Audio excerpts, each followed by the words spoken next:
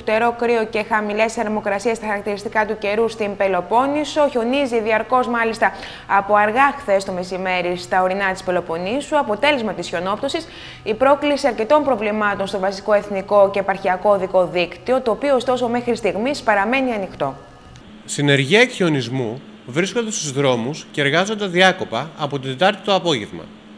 Το μεγαλύτερο πρόβλημα ήταν στην Εθνική Οδό Τρίπολη Πάρτη, όπου κοντά στο χωριό Μανθυρέα είχε διπλώσει μια νταλίκα και τις τελευταίες δύο ώρες ο δρόμος ήταν κλειστός και αποκλεισμένος όλος ο νομός της Λαγωνίας.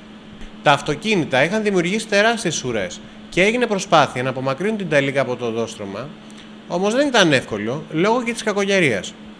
Μετά από αρκετή ώρα άνοιξε ο δρόμος και αποκαθίσταται σταδιακά η κυκλοφορία των οχημάτων, η οποία όμως γίνεται μόνο με αντιολυσιδικές αλυσίδες. Με αλυσίδες διεξάγεται κυκλοφορία στο δρόμο προς Χρυσοβίτσι, προς Δημητσάνα, προς Βιτίνα και γενικά σε όλη τη Γορτινία. Υπάρχουν συνεργεία αποχιονισμού, όμως η χιονόπτωση είναι έντονη και οι αλυσίδες απαραίτητες, καθώς και προς Καστρί, Άγιο Πέτρο Κινουρία.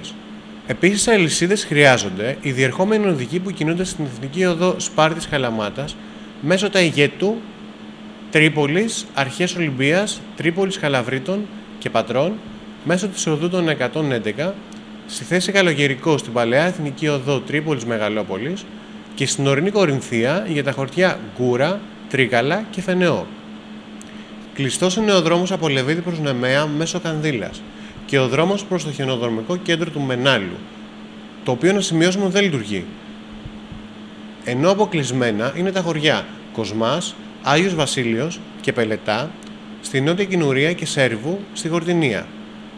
Τα χωριά αυτά ανοίγουν κατά διαστήματα από συνεργεία απογενισμού, όμως ξανακλίνουν λόγω της έντονης χιονόπτωσης. Να σημειώσουμε ότι κλειστά είναι τα σχολεία σε Βαλτεσινίκο, Δημητσάνα και Βιτίνα στην Αργαδία.